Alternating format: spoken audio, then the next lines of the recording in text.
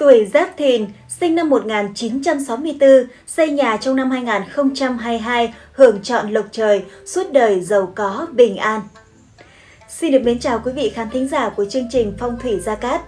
Như quý vị và các bạn đã biết, việc lựa chọn cho mình được năm xây nhà tốt thì không phải ai cũng làm được. Với từng tuổi khác nhau thì sẽ có những vận hạn khác nhau. Vì vậy, việc xây nhà cũng có những điều kiện nhất định. Để xây nhà thì trước hết ta cần phải xét đến các yếu tố. Đầu tiên, đó là tuổi của gia chủ không bị phạm vào kim lâu, hoang ốc hay tam tai. Sau khi tuổi không phạm, ta xét đến các yếu tố về vận đất có bị phạm vào các đại sát như thái tuế, tuế phá, ngũ hoàng, tam sát, mậu kỷ đô thiên hay mộ long biến vận hay không. Nếu tuổi gia chủ không phạm mà hướng lại tốt thì xây không gì cát bằng. Còn nếu tuổi gia chủ không hợp mà đất cũng không được vận thì hung họa khôn lường. Đặc biệt là nếu đã biết xấu không xây được mà còn cố tình vi phạm vào những điều đại kỵ tâm linh mà ngay sau đây Phong thủy Gia Cát chia sẻ thì hết sức nguy hiểm. Nhẹ thì tiền mất tật mang, ốm đau bệnh tật. Còn nặng thì có thể dẫn đến mất mạng, ảnh hưởng trực tiếp đến cuộc sống của những người còn lại trong gia đình. Vì vậy gia chủ giáp thìn cũng cần phải hết sức cẩn thận khi mà phải xem xét thật kỹ lưỡng trước khi mà chúng ta có quyết định xây nhà hay không. Và ngay sau đây thì xin mời tất cả quý vị, chúng ta hãy cùng theo dõi phần tư vấn chi tiết của thầy Gia Cát nhé. Trong năm nhâm dần năm 2022, các mệnh chủ tuổi Giáp Thìn sinh năm 1964 đã bước sang tuổi thứ 57. Năm nay, mệnh chủ tuổi Giáp Thìn bị phạm tam tai, một trong ba kiêng kỵ khi xây nhà. Vậy nên nếu mệnh chủ tuổi Giáp Thìn muốn xây nhà thì cần phải mượn tuổi khác để công việc được tiến hành hanh thông thuận lợi nhất. Các gia chủ tuổi Giáp Thìn thuộc cung ly mệnh hỏa có bốn hướng tốt, hướng Nam phục vị, Đông Nam thiên y, Bắc diên niên và hướng Đông sinh khí. Bên cạnh đó cũng có bốn hướng xấu là hướng Đông Bắc hỏa hại, Tây Bắc tuyệt mệnh, Tây Nam lục sát và Tây ngũ quỷ. Quý vị thân mến, ở được nhà hợp hướng thì vô cùng tốt, mọi việc sẽ được hanh thông thuận lợi.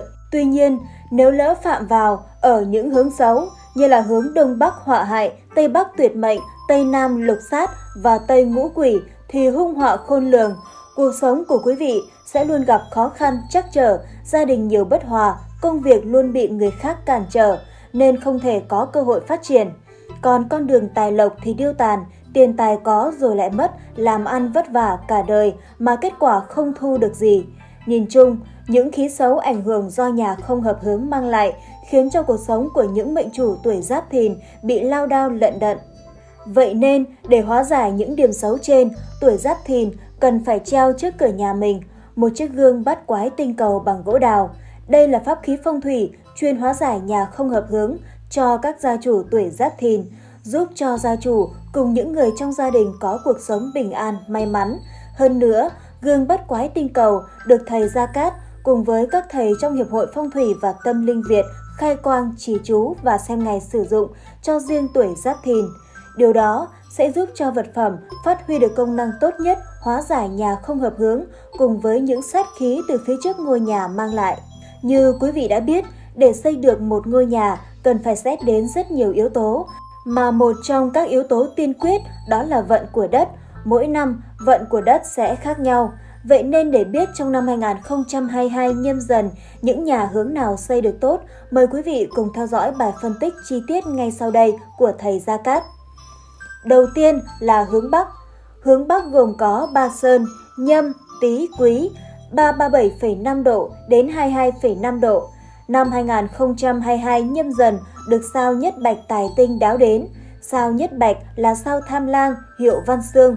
Ngũ hành thuộc thủy, màu trắng, mùa thu tiến, mùa đông vượng, mùa xuân tiết, mùa hạ tử. Kẻ sĩ gặp nó ắt được lộc của nó, mà người thường gặp nó nhất định tiền bạc sẽ vào nhà. Đây là đệ nhất cát thần, nhất bạch lại là quan tinh. Nếu nó đương vượng, hình thế loan đầu bên ngoài, lại có thủy phóng quang thì khoa cử đỗ đạt, danh lừng bốn bể. Sinh con trai thông minh trí tuệ. Còn nó mà suy tử thì hại vợ, không thọ, cuộc đời trôi nổi lênh đênh, mắc nhiều bệnh tật về huyết, thận hư hoặc thành kẻ nghiện ngập trộm cướp. Nhất Bạch gặp phương Bắc là tị hòa, nếu vượng thì có lợi về tài văn chương hoặc các công việc về văn, còn nếu suy thì dễ bị bệnh về máu, nghiện ngập hoặc chìm đắm trong tử sắc. Vậy nên với những nhà hướng Bắc, năm 2022 nhâm dần, hãy treo trước cửa pháp khí phong thủy Mai Hoa Phú Quý. Đồng thời, tại phương vị này trong phòng khách cũng nên đặt một tháp văn xương kích vận để nghênh sao nhất bạch, giúp cho đường quan vận và học hành của những người trong gia đình được hanh thông, thuận lợi và may mắn. Bên cạnh đó, hướng Bắc là một trong những hướng tốt với các gia chủ tuổi giáp thìn. Ở nhà hướng này lại được hướng diên niên. Diên niên hay phúc đức tượng là sao vũ khúc thuộc hành kim là cát tinh, là đại diện cho tuổi thọ, sự phát đạt về tài chính và kéo dài để lại cho thế hệ mai sau.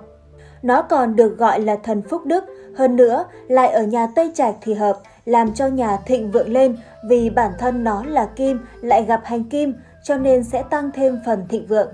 Thứ hai là hướng Tây. Hướng Tây gồm có Ba Sơn, Canh, Dậu, Tân, 247,5 đến 292,5 độ. Năm 2022 nhâm dần, bị sao thất xích phá quân ngự trị. Thất xích là sao phá quân, còn gọi là tạc tinh. Một trong những hung tinh của huyền không phi tinh.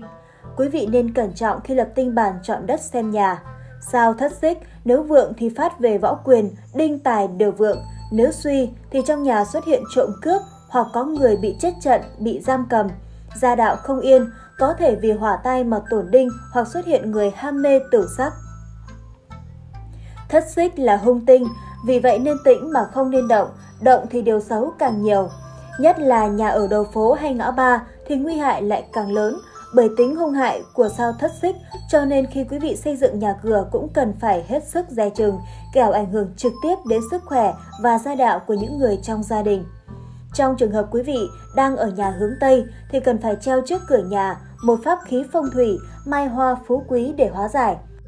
Hướng Tây cũng là một trong những hướng xấu đối với gia chủ tuổi giáp thìn. Ở vào hướng này phạm vào ngũ quỷ, Ngũ quỷ là sao liêm trinh thuộc hành hỏa là hung tinh xấu thứ hai so với tuyệt mệnh. Nó đem đến những chuyện quỷ quái, bệnh hoạn và các tai nạn liên miên xảy đến. Khi ở hướng này, do tương khắc với ngũ hành, cho nên nó sẽ gây nên nhiều mối nguy hiểm hơn. Vậy nên các mệnh chủ tuổi giáp thìn cần phải treo trước cửa nhà mình một chiếc gương bắt quái tinh cầu. Để hóa giải, giúp cho gia chủ tuổi giáp thìn có cuộc sống bình an và may mắn. Thứ ba là hướng Nam. Hướng Nam gồm có Ba Sơn, Bính, Ngọ Đinh, 157,5 đến 202,5 độ. Năm 2022 nhâm dần, nhà tọa tý hướng ngọ bị phạm vào tam sát. Theo Vĩnh Cổ Thông Thư, thì tam sát được giải thích là tam sát được chia làm ba dạng, tuyệt là kiếp sát, thai là tai sát, dưỡng là tuế sát. Nói đơn giản hơn thì kiếp sát, tai sát và tuế sát chính là vị trí tuyệt thai và dưỡng của địa chỉ. Từ đó có thể hiểu, trên thực tế thì tam sát là tên gọi chung kết hợp giữa kiếp sát, tai sát và tuế sát. Tam sát là phương vị lưu niên xung tam hợp vượng vị. Trong phong thủy có câu, muốn phát tài phải đấu tam sát. Tam sát là một trong những thần sát trọng yếu trong phong thủy nhà ở. Nếu lưu niên phạm tam sát thì tất sẽ ảnh hưởng tới tài vận trong năm và cũng dễ vì thế mà gặp phải họa phá tài, lộ tài, người nhà ốm đau bệnh tật, tai nạn bất ngờ xảy đến. Vậy nên những nhà hướng Nam trong năm nay xây mới cần phải hết sức lưu ý. Quý vị hãy liên hệ, đặt lịch trực tiếp với thầy Gia Cát để được tư vấn hoàn toàn miễn phí tại văn phòng. Hướng Nam là hướng phục vị, một trong bốn hướng tốt với các gia chủ tuổi giáp thìn.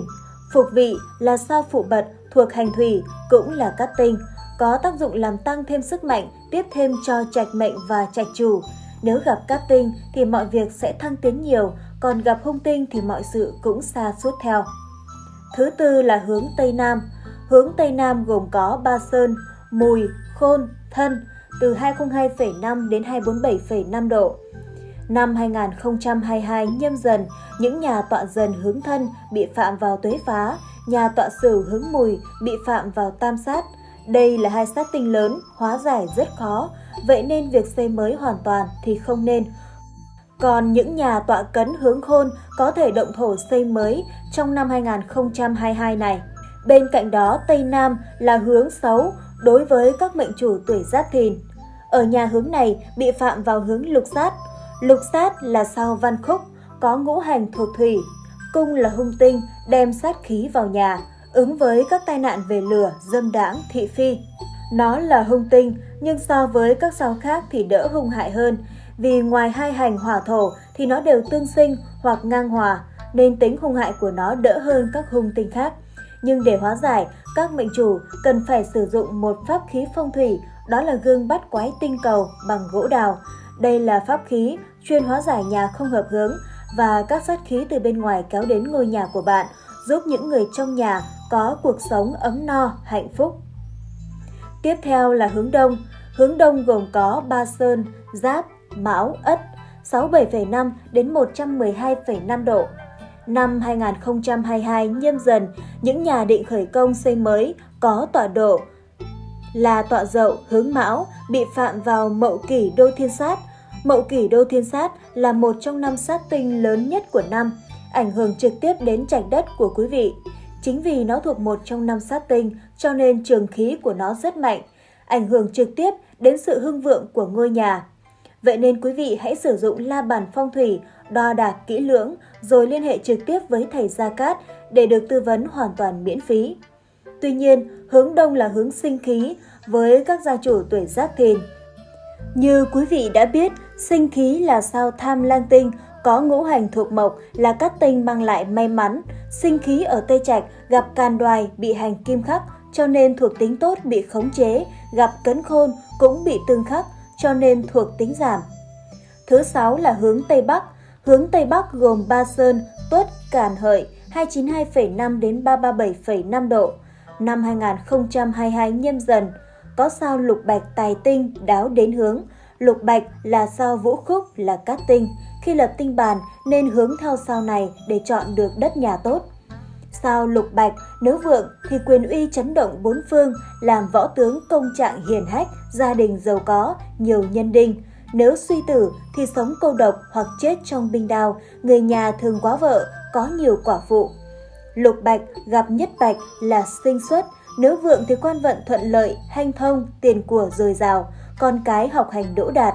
Nếu suy thì quan lộc tuy không giảm, nhưng người nhà thường mắc chứng đau đầu hoặc gặp tai nạn sông nước.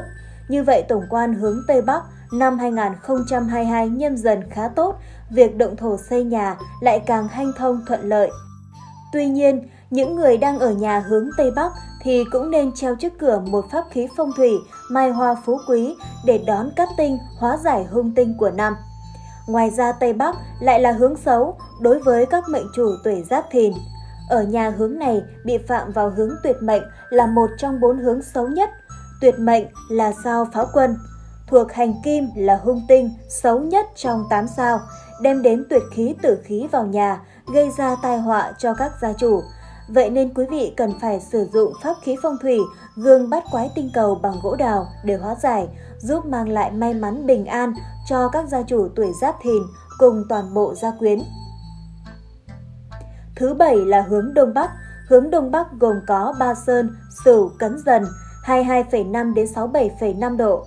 Năm 2022 nhâm dần, những nhà tọa thân hướng dần bị phạm vào Thái Tuế và Mậu Kỷ Đô Thiên. Những nhà tọa mùi hướng Sửu bị phạm vào Tam Sát. Đây là ba đại kỵ lớn khi xây nhà mà các thầy khuyên rằng không nên động thổ xây mới. Trong trường hợp quý vị bắt buộc phải xây, hãy liên hệ với thầy Gia Cát để được tư vấn cách hóa giải hoàn toàn miễn phí. Hướng Đông Bắc cũng là hướng không tốt đối với các gia chủ tuổi giáp thìn. Ở nhà hướng này sẽ bị phạm vào cung họa hại. Họa hại là sao lục tồn thuộc hành thổ là một hung tinh, đem lại nhiều hung khí, gây nên nhiều thiệt hại về sức khỏe và công danh.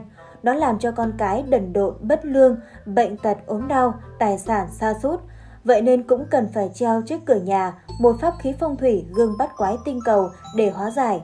Đây là pháp khí chuyên hóa giải nhà không hợp hướng và những sát khí từ bên ngoài ảnh hưởng trực tiếp đến ngôi nhà của các mệnh chủ, giúp cho những mệnh chủ tuổi giáp thìn cùng với gia đình có cuộc sống ấm no, hạnh phúc.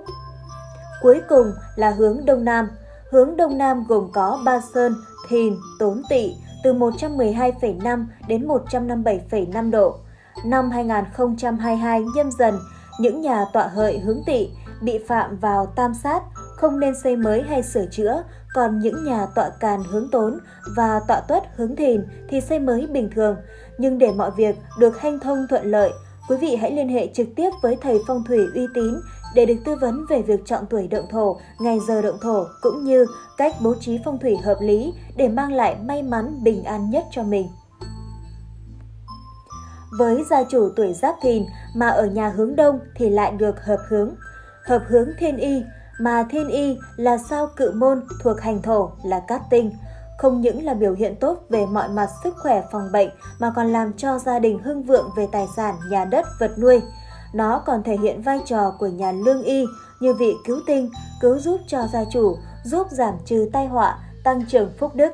Tuy nhiên, nếu ở nhà hướng này, sao thiên y bị giảm sút, không phát huy được tối đa công năng của nó do gặp phải ngũ hành tương khắc. Quý vị thân mến, trên đây là những chia sẻ về việc xây nhà và cách hóa giải phù hợp với các gia chủ tuổi Giáp Thìn trong năm Nhâm Dần năm 2022 và hy vọng rằng những nội dung trong chương trình ngày hôm nay mà Phong thủy Gia Cát chia sẻ cho quý vị giúp cho quý vị có được những thông tin hữu ích hơn. Rất cảm ơn quý vị đã quan tâm theo dõi chương trình. Quý vị cũng đừng quên like, đăng ký và nhấn vào tín hiệu quả chuông để nhận thông báo mới nhất, những bài viết mới và hay nhất mỗi tháng quý vị nhé. Còn bây giờ thì Diễm Quỳnh xin mến chào và hẹn gặp lại quý vị trong những bản tin lần sau.